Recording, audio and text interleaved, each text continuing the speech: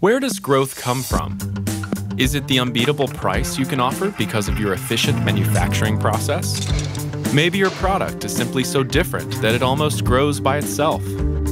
Or perhaps it's the superior customer service you can offer. Or is it great advertising that makes you laugh or cry? The only right answer to that question is it depends. We are TBWA, and we have a methodology called disruption. It lets us find new growth for our clients by defining a strategy for the brand, breaking conventions around it, and building a vision for it. The method has three parts. Let's start with conventions. This is the box we need to think outside of. We find the thing that all of your competitors are doing, what pattern the consumer is stuck in, and recognize what baggage in the brand's history is keeping it down. You need to know the status quo to know how to overturn it. You also need a vision to steer the brand in the right direction.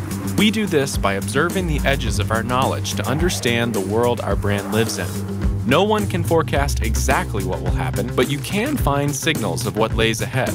To break the convention and move towards a vision, we come up with an idea so provocative, we call it the disruption. It's more than just the color scheme of your packaging or a new tagline on your ads. It's a perspective on the business itself that will let you crush the conventions and leap ahead of the competition. Disruption, convention, and vision. This is our operating system. This is how we slice the world. This is how we find growth. We are the Disruption Company.